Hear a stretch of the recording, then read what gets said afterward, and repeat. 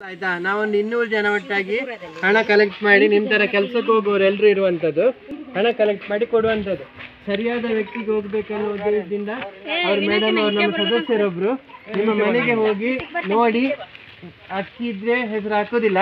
ಅಕ್ಕಿ ಇಲ್ಲದಿದ್ದವರಿಗೆ ಮಾತ್ರ ಅವಕಾಶ ಕೊಡ್ತಾರೆ. ಎರಡನೇದು ಇವತ್ತು ನಾವು ನಿಮಗೆ ಅಕ್ಕಿ ಕೊಡ್ತಾ ಇದ್ದೀವಿ. ರೇಷನ್ ಅಕ್ಕಿ ಮತ್ತೆ ಉಪ್ಪಿನಕಾಯಿ. ಇದು ಒಂದು ವಾರಕ್ಕೆ ಯೂಸ್ ಮಾಡಿ. ಒಂದು ವಾರ ಆದ್ಮೇಲೆ ಮತ್ತೆ ಅವ್ರಿಗೆ ಹೇಳಿ ಮತ್ತೆ ಬಂದು ಕೊಡ್ತೇವೆ. ಇನ್ನೊಂದು ಈ ಹೋಟೆಲ್ದಿಂದ ಅಲ್ಲಿ ರಸ್ತೆ ಬದಿ ಹೋಗುದು ಯಾರಾದ್ರೂ ನಮ್ಗೆ ಗೊತ್ತಾದ್ರೆ.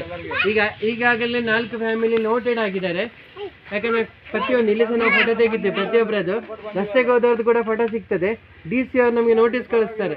ನಿಮ್ಮ ಫುಡ್ ತಗೊಂಡವರು ರಸ್ತೆಗೆ ಹೋಗ್ತಾ ಇದ್ದಾರೆ ಅಂತ. ಈ ಥರ ಆದ್ರೆ ಈ ಕಡೆ ನಾವು ಬರೋದು ಸ್ಟಾಪ್ ಮಾಡಿ ನಿಲ್ಲಿಸ್ತೀವಿ. ನಿಮಗೆ ರಸ್ತೆಗೆ ಹೋಗ್ಬೇಕಂತ ಇದ್ರೆ ನಮ್ಮ ಹತ್ರ ತಗೊಳ್ಬೇಡಿ ಅಲ್ಲಿಗೆ ಹೋಗಿ.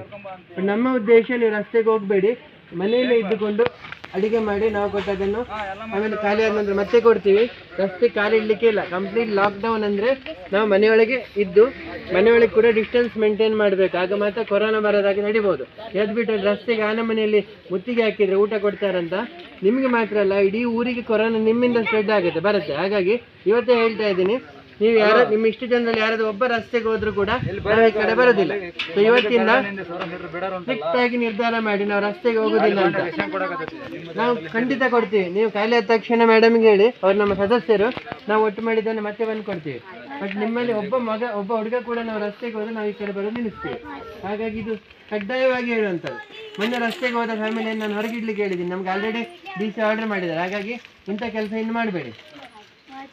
ಸರಿ. ಮತ್ತೆ ಕೊಡುವಾಗ ಕೂಡ ಮುಟ್ಟಿಗೆ ಬೀಳ್ಲಿಕ್ಕಿಲ್ಲ.